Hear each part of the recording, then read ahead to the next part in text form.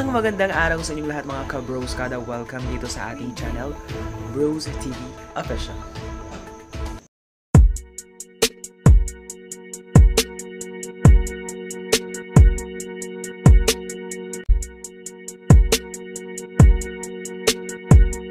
At ang isa sa mga kumalat na balita nitong ng mga nakaraang araw ay tungkol sa kumalat na tweet na screenshot na, na nagsagutan di umano si Maine Mendoza at Vice Ganda tungkol sa kanilang mga pelikulang naglalaban sa Metro Manila Film Festival.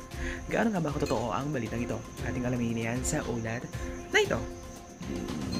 In 3, 2, 1.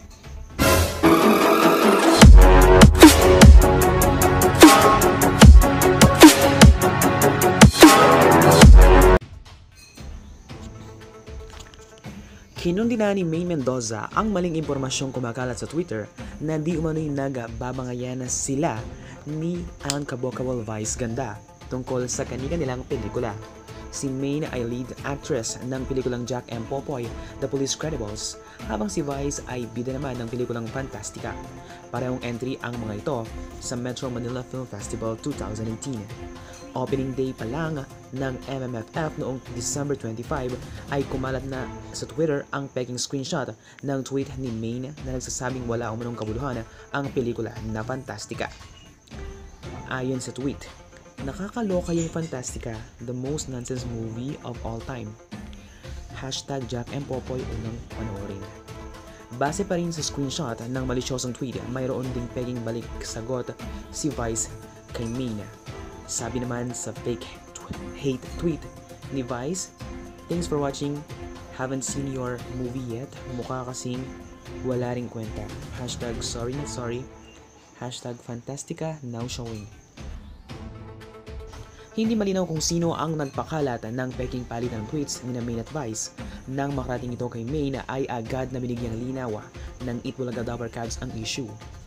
Opisyal na pahayag ni Main Yikes! Paskong Pasko, wala pa ding magawang matino yung ibang tao. This is edited guys. Pero nood lang din kayo ng Jack and Popoy at Fantastica para happy tayong lahat. Narito naman ang kopya ng totoong tweet ni Min.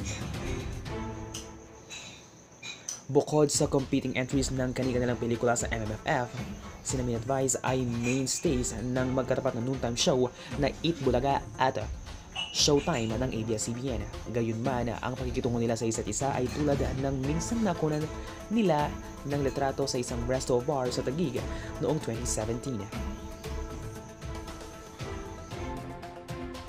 Maraming salamat sa inyong panonood mga ka-bros kada.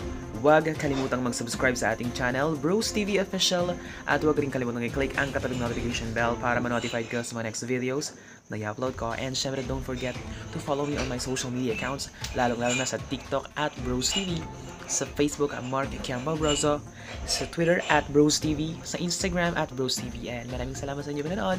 Hanggang sa muli. Bye-bye!